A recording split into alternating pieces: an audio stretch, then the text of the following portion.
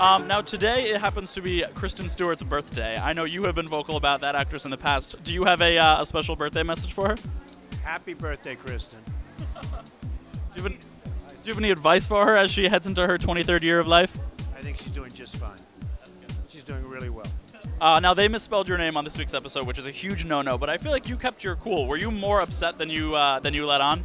Well, it was only, you know, the task, so it was nothing that, you know, I was not upset.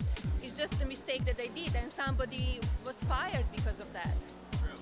I know you like Dennis Rodman a lot. So was that? Would you say this was one of the hardest firings for you to actually let him go?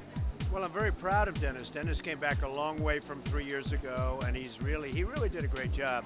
And yes, this was not an easy firing for me.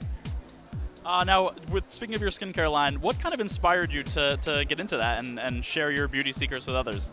Well, I don't want women to go under the knife or using injections, so that skincare line really helps to keep youthful skin. Uh, with omega-3, omega-6, with a lot of fatty acids, vitamins, oxygen builders, antioxidants. So it's Melania Caviar Complex C6 um, skincare line, and if they use it, they will really see the results on the skin. I use it every day, and I really see much better results from. Well, it, it shows.